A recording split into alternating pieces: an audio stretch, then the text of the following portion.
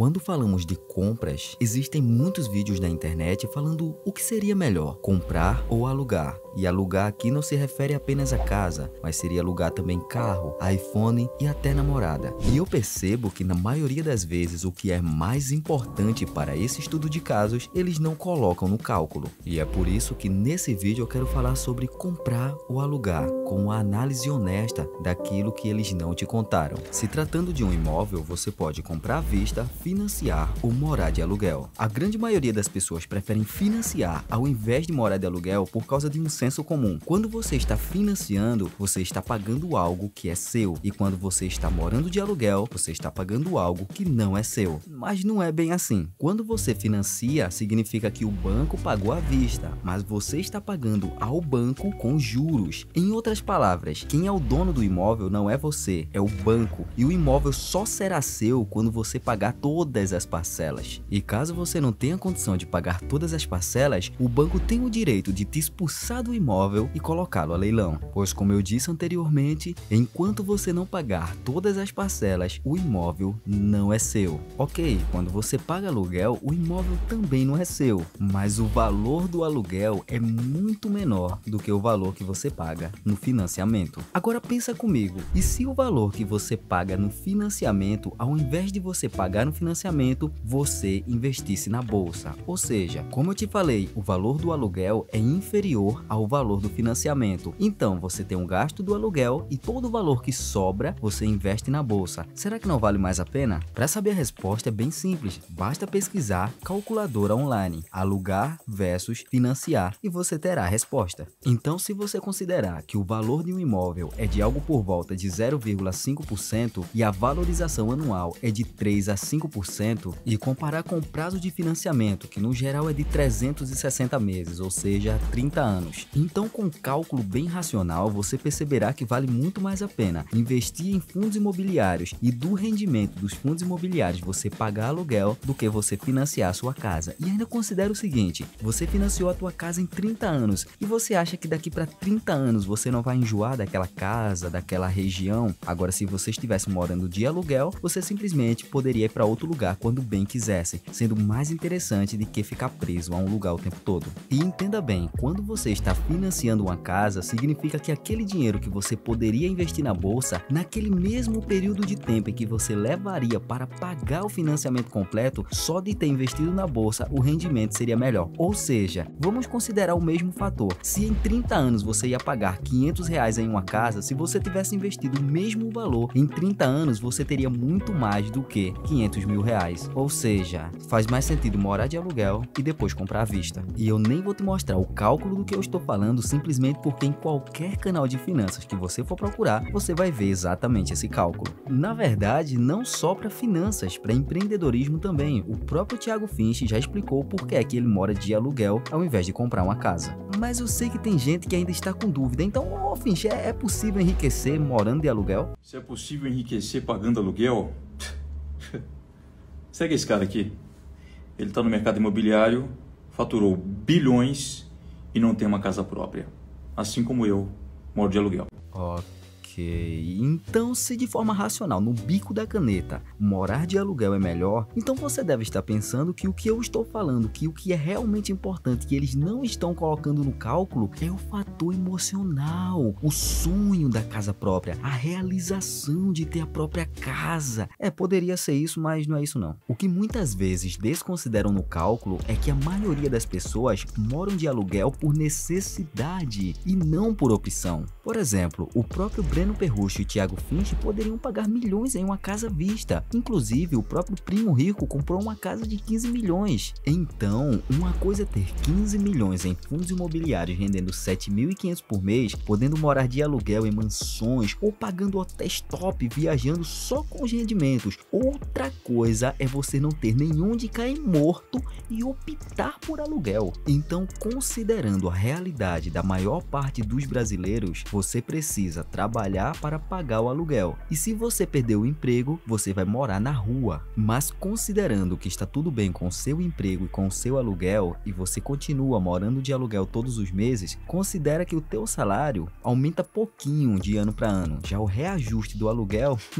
poderá facilmente ultrapassar o teu próprio salário. Então, morar de aluguel é financeiramente falando muito melhor no mundo ideal, no mundo em que você já tem grana, mas no mundo real, para 99% das pessoas que moram de aluguel, que moram por necessidade e não por opção, começa a cogitar e calcular um pouco financiar um imóvel. Ok, mas se uma pessoa paga o aluguel de uma casa por opção, essa pessoa também pode pagar o aluguel de um carro por opção. Os gêmeos do canal Gêmeos Investem fizeram um vídeo bem interessante na qual eles alugaram um Jeep Renegade e fizeram todo o cálculo. Então vamos considerar o primeiro cenário, você comprando o carro. O Jeep sai por 148 mil, o IPVA 3.900, manutenção 1.100, seguro 6 mil e não vou citar o preço da gasolina porque depende de quanto você vai andar. Nesse caso, sem considerar a gasolina, o teu gasto mensal é de 916 reais. Agora, se você alugasse o mesmo carro, o valor do aluguel seria de 3 mil reais por mês. E se você fizesse a assinatura por 4 anos, você gastaria 144 mil reais. Tá, mas lembra daquele exemplo da casa? E se esses 192 mil, do caso se você tivesse gastado comprando o carro à vista e todos os custos, se você tivesse investido,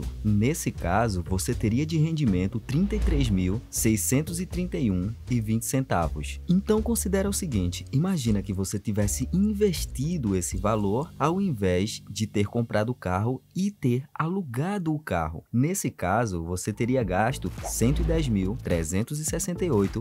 110.368,87 centavos. Ou seja, investir e alugar o carro seria bem melhor, porque você teve uma diferença de 81.631,20 centavos. Você economizou esse dinheiro.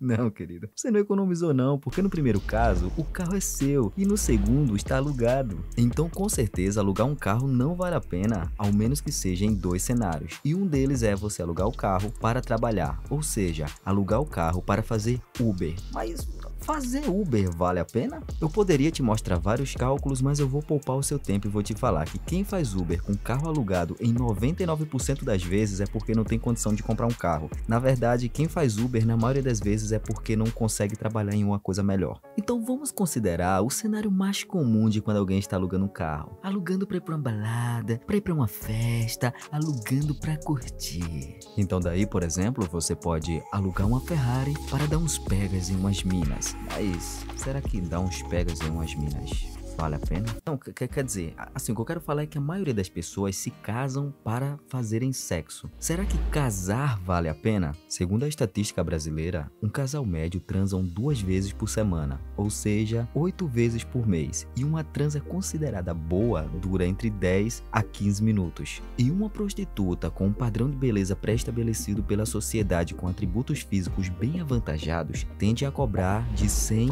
a 500 reais por uma hora. Ok, então assim podemos calcular que em quesito de tempo você gasta por mês 120 reais com prostitutas, que seria o equivalente ao que você teria de relação sexual com a esposa. Mas obviamente o que jamais poderá ser calculado aqui é o amor. Quanto vale o amor? Então, igualmente, o que acontece com alugar uma casa e alugar um carro por opção e não por obrigação tendem a ser as mesmas pessoas que alugam carro e casa os que também preferem ter relação com prostitutas ao invés de E, obviamente, se ele tem condição de alugar um carro e uma casa, ele tem de alugar um iPhone. Tá, mas um iPhone, cara? Será que vale mais a pena alugar um iPhone ao invés de comprar? Vamos ver. Você pode alugar o seu iPhone, por exemplo, através do Alugator. É bem famoso. Você vai pagar 266 reais por mês para ter um iPhone, poder andar por aí somente ostentando, sem se preocupar com nada.